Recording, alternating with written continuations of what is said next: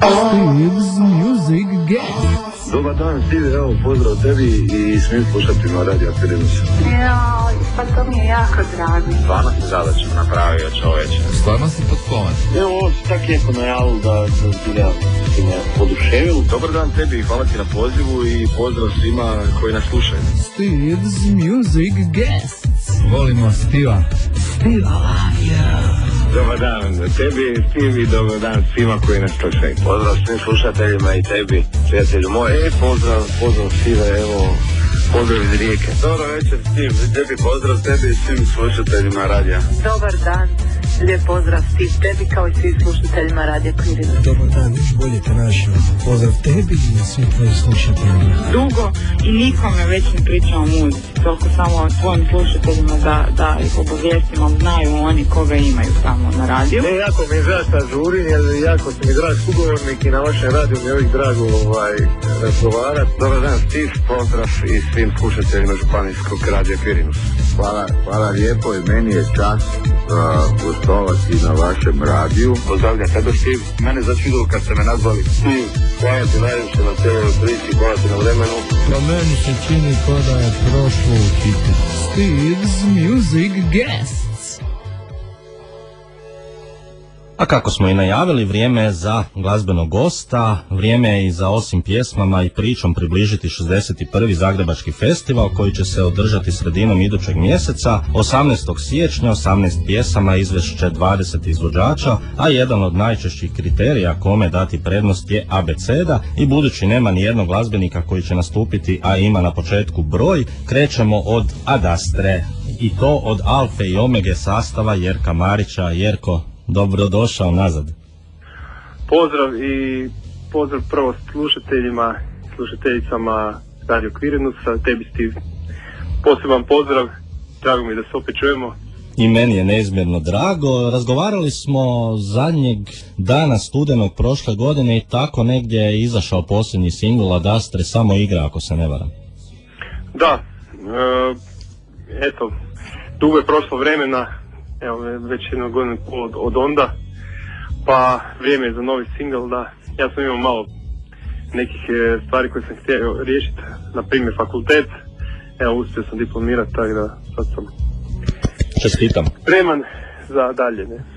E, Zagrebački festival, prvi si nam gost, e, vidio si imena, ja sam impresioniran, vjerujem i ti time tko će sve nastupiti osim vas i vas. Kako ide ta procedura? Nije nikad Zagrebački festival bio tako moćan glazbenim imenima, jeste se vi javili, jesu vas vukli za rukav? Pa ja mislim da je bio moćan, je, jer, e, znaš, to, ti je, to je najstariji festival To je najstariji I- festival, to i stoji. čak je bio međunarodni prije, davno dana, ne, tako da mislim da je čak i onda bio još jači nego danas. Tako da, mislim, jesu, ova imena su vrhunska, nema tu uopće rasprave, nego nadam se da će još postati jači, da će u, u jedan Zagreb, jedan veliki grad, jednu metropolu, da bi trebao biti jedan festival čak i međunarodnih ono, razmjera, barem regionalnih, ako ne i tako. Tako da mi je jako drago da se opet počeo revitalizirati i da opet imamo jedan jaki festival i da to interesira širu publiku i tako dalje. Nastupit ćete s pjesmom Samo s tobom, riječ je o laganoj pjesmi, nije balada, ima i fine rifove, no prilično je dugačka, pet minuta za festival, hoćete imati neku festival version. Pa ne znam, ja sam e, razmišljao o tome, ali onda bi trebali izbaciti solažu od gitare, ne, a, da, je, da je kraća, ne, ali pošto volim taj gitarski zvuk i to, onda sam rekao da idemo napraviti još solažu unutra jer imam odličnog gitaristu, našeg Ivana Havidića.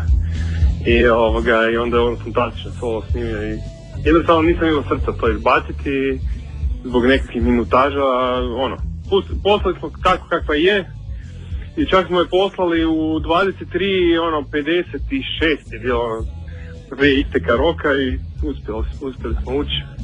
I evo, baš sam sretan. Ma, je, znam da je duža pjesma, ali evo, sa Flair sam ja imao čak jednu pjesmu 6.30, pa je, pa ona pjesma zaista, ne znam se sjećaš. Mhm, mhm.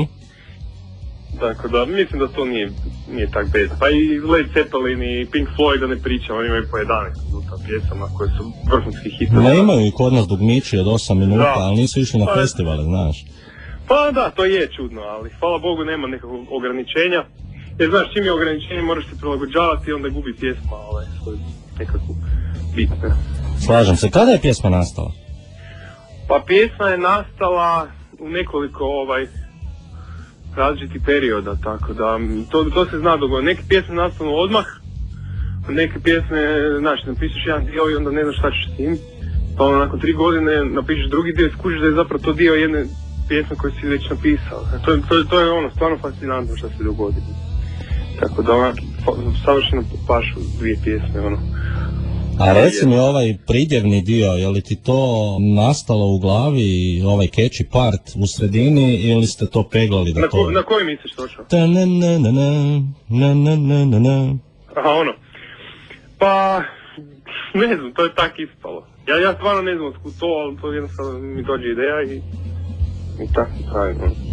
Ali dobro je, ova fora, onak. Fore, fore. Pitao si me komentar na pjesmu, Da. obično na radnom mjestu mi ovdje pustimo pjesmu pa baš i nemaš prilike slušati, sada pripremajući se za ovaj razgovor sam je preslušao nekoliko puta i prilično je, prilično je dobra pjesmica. Da, hvala ti puno, da. Pa eto, ono, kao što bi ovi, recimo, Đorđe Novković rekao, Jerko, bitno je da se može pjesma fučka, to mi je ono, ono, Aha, to je aha. najbitnije, ne. Ova se i tekako može otfuškati i zanimljivo, najave su da će spot biti sniman u Mađarskoj.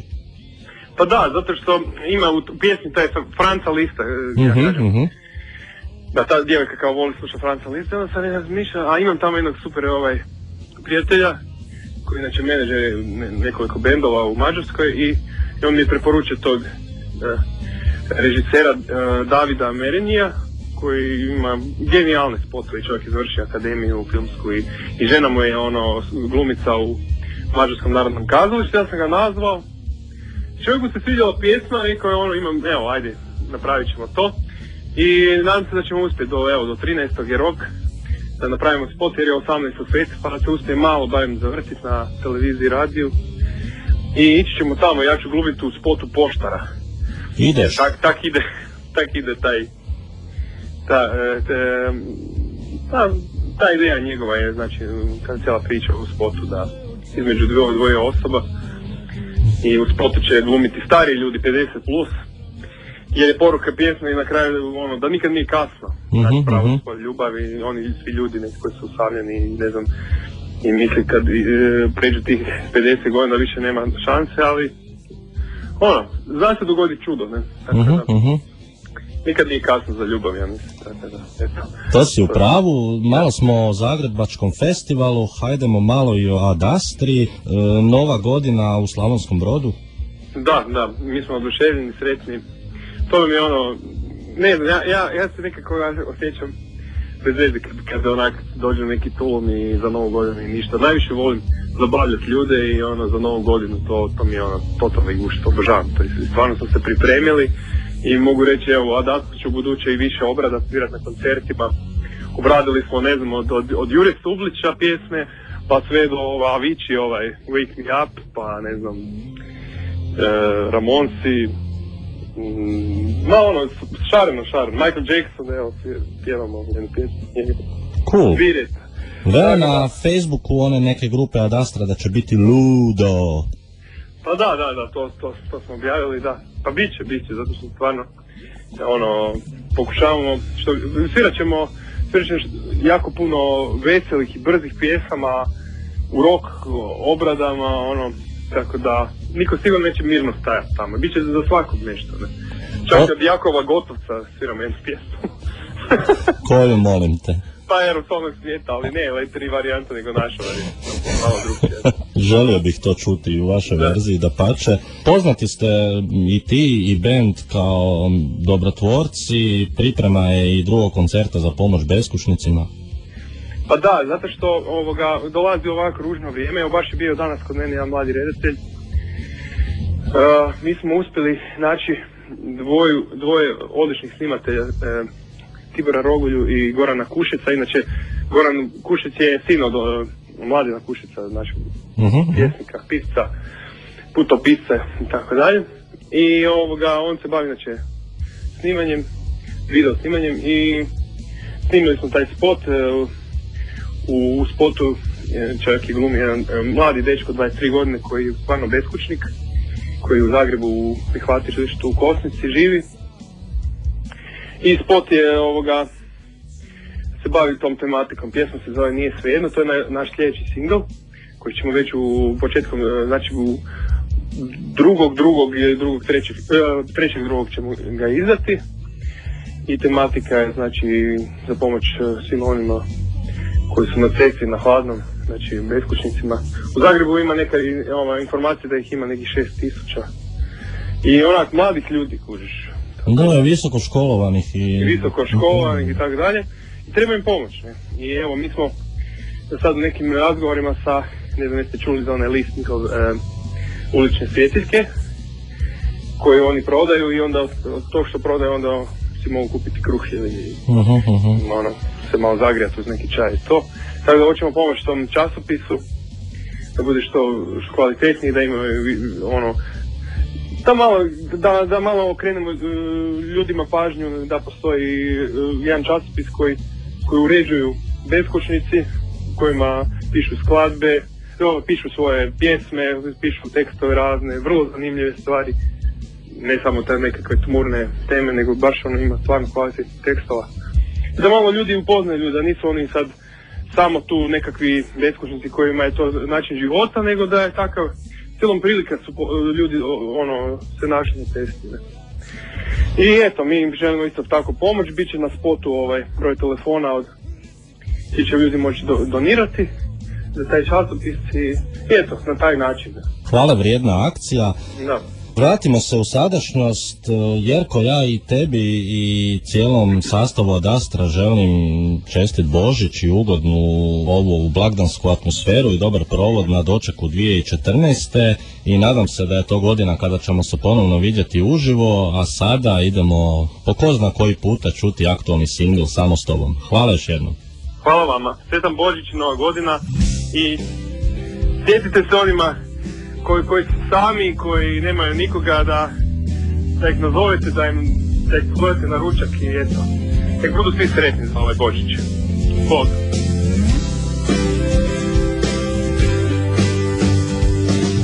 Da imaš lijepe stvari Sve što ti srce zaželi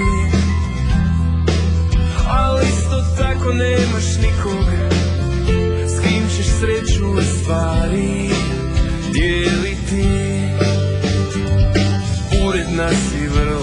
čista Voliš jutro Franca Lista. Slušati. Al nemaš niko kao mene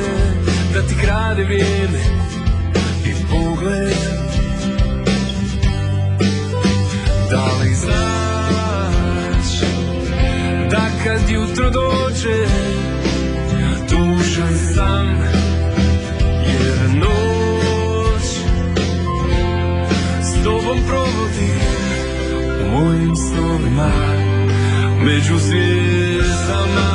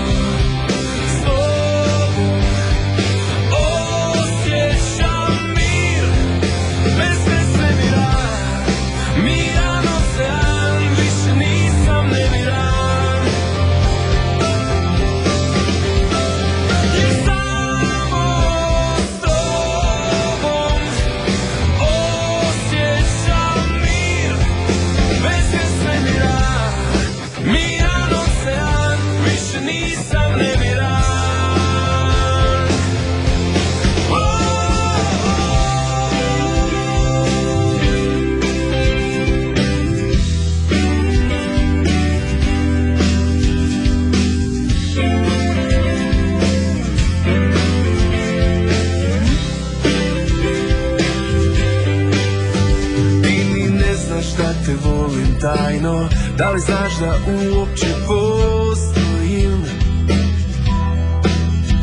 Kad te spazim ja se skrivam Poslije mislim na tebe. Satima Uredna si vrlo čista. Voliš jutro Franca Lista Slušati. Al nemaš niko kao mene Da ti krade vrijeme pogled. Da li znaš Da kad jutro dođe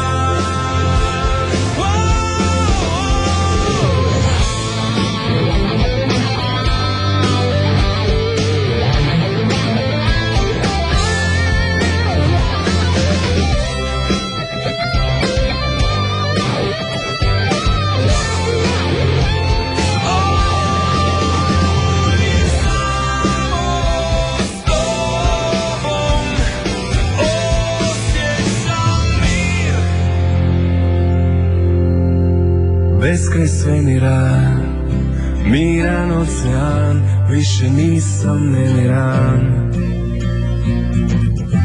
Više nisam nemiran.